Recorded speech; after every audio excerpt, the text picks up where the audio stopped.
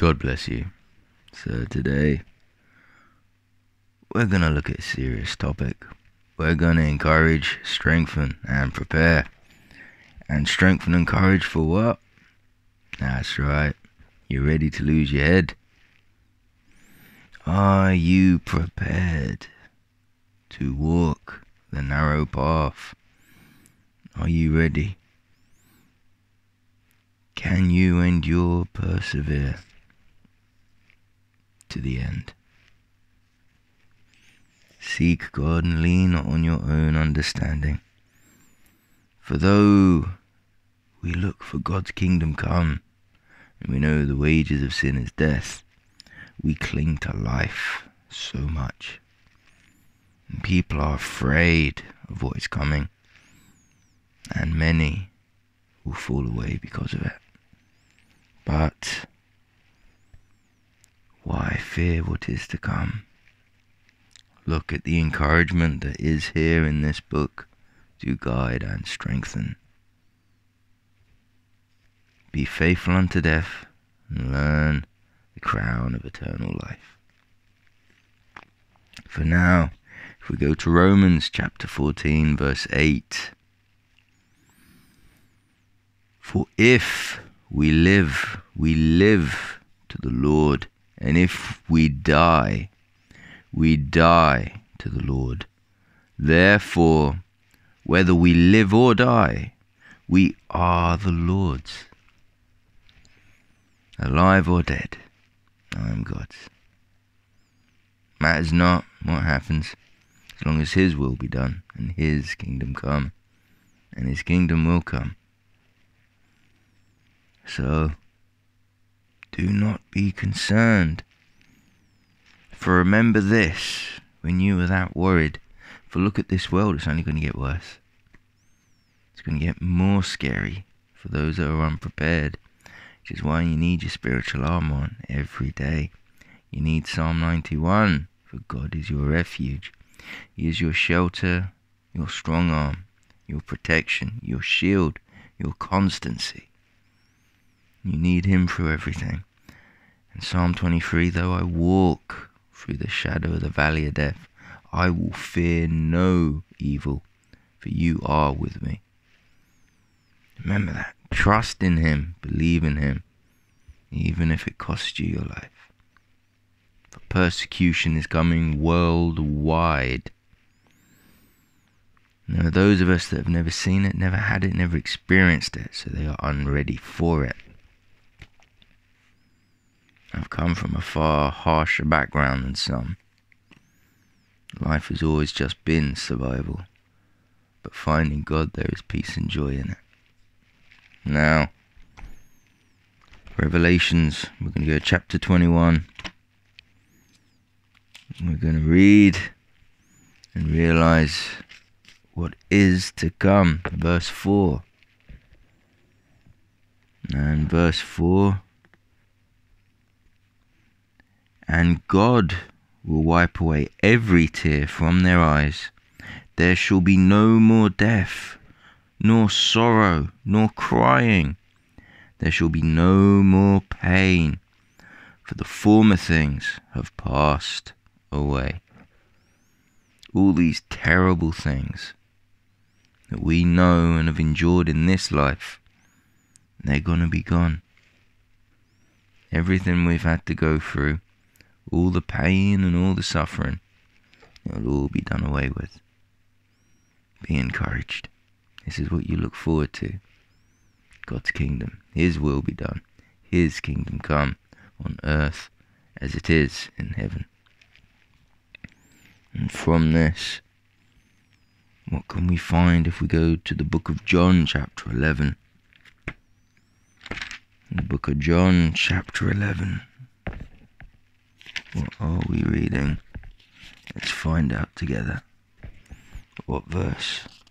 25 to 26. And Jesus said to her, I am the resurrection and the life. He who believes in me, though he may die, he shall live. And whoever lives and believes in me shall never die. Do you believe this? I want you to think about that. Do you believe this? Is this in the center of your heart? Is God's laws written in your heart? Are you prepared? Do you believe this? If you stand there and they say, well, all you have to do is renounce your faith and you can go in your jolly way, what are you going to do? Are you going to do that? Are you going to kneel down and put that head ever forward and say, well, do what you have to do? For it is not I that lives, that he that is greater than I who lives in me. Do as you will. For God first and foremost. Trusting in the Lord every step of the way. Now, Matthew 10:28 just to sober us up for those who think, you know what, think I might try and take those extra couple of days, those extra couple of years to live on this world. But what does it cost you? For verse 28 in Matthew 10. And do not fear those who kill the body, but cannot kill the soul but rather fear him who is able to destroy both soul and body in hell. I'll sober you up. My man in front of you is dangling a, a carrot, so to speak, saying, if you take this, you can go on your merry way. But if you don't, there's a nice little camp over here you can go to. And you're like, well, you know what? I'll take the carrot. But you take that carrot, there's a God, a holy God, a just God that will judge, and he is a flaming fire of wrath against those that turn from him. And he can destroy both body and soul in hell. Be aware not to mock God, for he will not be mocked. So be faithful, endure, persevere. Jesus is the way, the truth, and the life. No one comes to the Father except for through the Son. Do not deny him, or he will deny you before the Father. Be prepared to risk all for the greatest of rewards. No guts, no glory, so to speak. Now, as we continue in we will go to Romans chapter 8. And in Romans chapter 8, we're going to read verses 38 and 39. For I am persuaded that neither death nor life, nor angels, nor principalities, nor powers, nor things present, nor things to come nor height, nor depth, nor any other created thing shall be able to separate us from the love of God which is in Christ Jesus our Lord. Stay faithful. What does it matter? Nothing will separate you. Be faithful unto the end. Now, Jesus did not go out fighting. Did you ever see him fight? It wasn't an action film, The Life of Jesus. I can't imagine such a thing, can you? No. He went across the world selflessly, helping, lovingly, kindly, casting out demons, healing the sick and the lame, preaching the word to bring others to God didn't fight his way out to get away from crucifixion. He made his way towards crucifixion to create the new covenant, to take the punishment of our sins, that we may live. He picked up his cross for us, so we pick up our cross for him. Do not fear what is to come. Now, Galatians chapter 2, verse 20. Oh, pages are getting stuck. There we go. Verse 20, where are we? I have been crucified with Christ. It is no longer I who live, but Christ lives in me. And the life which I now live in the flesh, I live by faith in the Son of God, who loved me and gave himself for me. So, he is greater than I. He works in your life he guides you. Do not fear. Be encouraged. Persevere, endure, overcome. There is much in this world. Look at all the things in Old Testament, New Testament, all things people endured for the Word of God. Did Paul run away? No, he knew he was to go in chains. And he went and continued on, and in chains he went. Did Jesus not tell Peter, You will go, and they will take you where you would rather not go, and they will tie upon you? Do you remember these things? Did not all his disciples, as they went on their way, did they not lose their lives preaching his word? Did they deny him to live an extra day? Or did they die gloriously for the word of God? Be sober. Be strong. We are waiting for the, the kingdom to come. That God's will be done on this earth. We are waiting diligently faithfully and lovingly, soberly, always keeping our eye at watch, that we be ready on the day of his coming, whether we sleep or awake. Now, as we continue in Revelation 14:13, the importance of it all.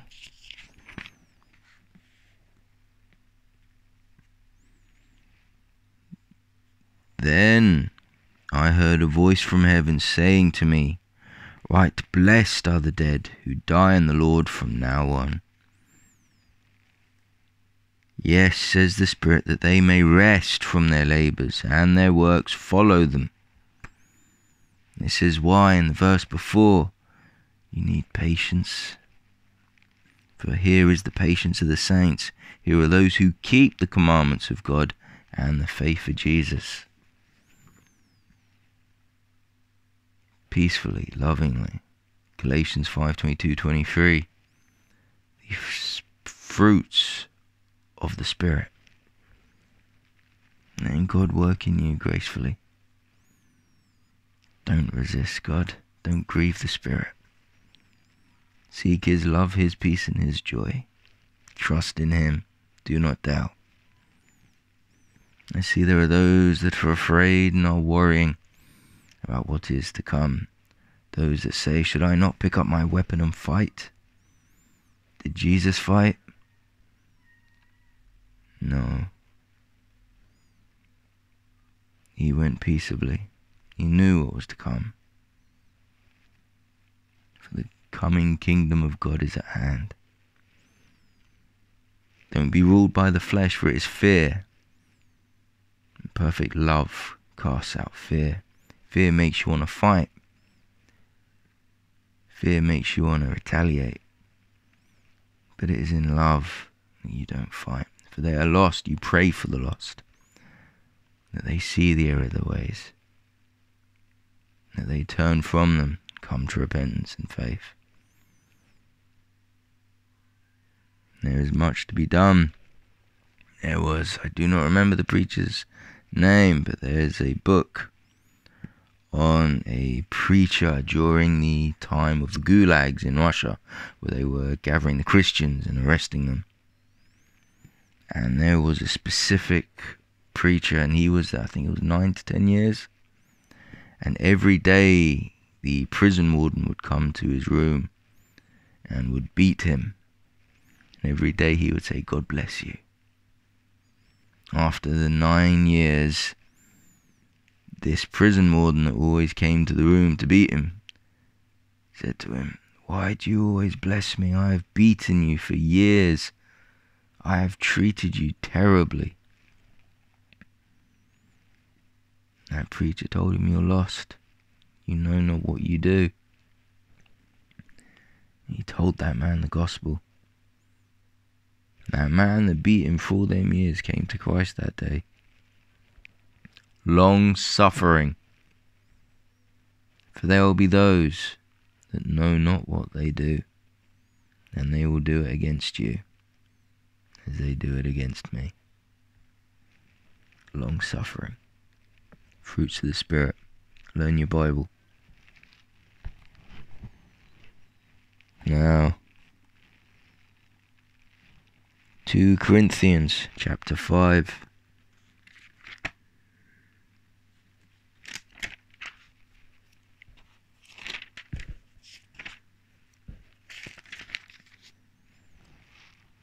Verses 6 to 8. So we are always confident, knowing that while we are at home in the body, we are absent from the Lord. For we walk by faith, not by sight. We are confident, yes, well pleased rather, to be absent from the body and to be present with the Lord. It would be better to lose our bodies than to be with God, and to keep the body and stay in this world. Do you understand? He's waiting for his faithful to come home. Stay faithful unto death. Now,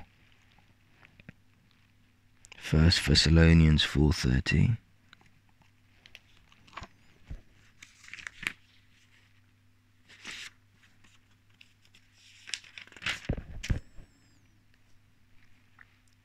From verse 13. But I do not want you to be ignorant, brethren, concerning those who have fallen asleep lest you sorrow as others who have no hope. For if we believe that Jesus died and rose again, even so God will bring with him those who sleep in Jesus. So, those that are asleep, those that lose their life and believe in Jesus, they will be raised up. Do not be discouraged, but be encouraged. You should know that in Psalm 116 and in verse 15. What does it say? Let's find out. Verse 15. Precious in the sight of the Lord is the death of his saints. Precious. Something beyond measure something special. You are precious. Perseverance. Endure. Overcome. You're precious in the sight of God. So don't fear. Don't try and make your life into an action film thinking you'll save your life. You will but lose it. Jesus' life wasn't made into a film, an action film, with a certain man saying, I'll be back. Wouldn't have been the same, would it? No. Jesus suffered. He endured. He knew what was to come, and he took it gladly. He picked up his cross, so we'll pick up ours, and we will follow gladly for we're not afraid to lose this the crown of eternal life. For Revelation chapter 2, verse 10 Do not fear any of those things which you are about to suffer.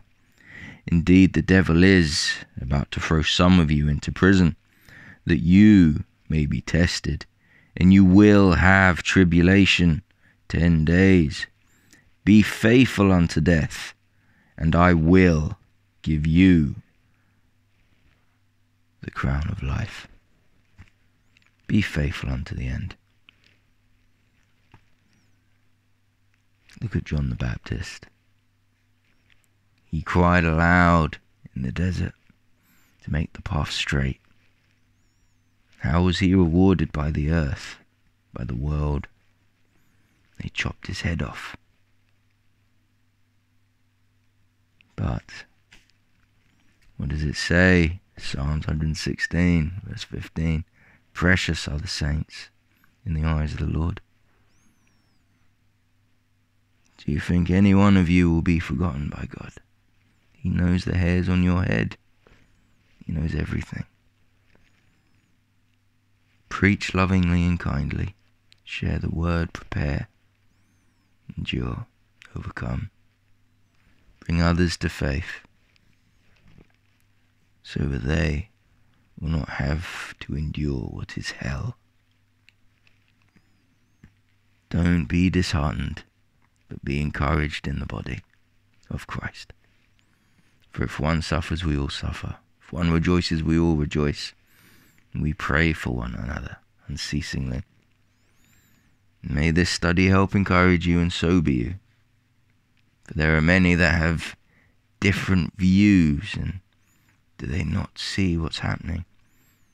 People saying, well, we're, we're going to be taken away. We're not going to go through any trouble of any kind. But Jesus said in Matthew 24, the tribulation of those days. And in John 16:33, you will have tribulation, but be of good cheer. I overcame the world. So be of good cheer. Listen to Jesus. Do not be afraid. Do not fear. For just as when Peter started to fear and have doubt, he started to sink when he was walking on the water, for he became afraid. And that doubt made him sink. And then Jesus immediately grabbed his hand and said, Why did you doubt? Jesus is with you every step. The restrainer will be removed.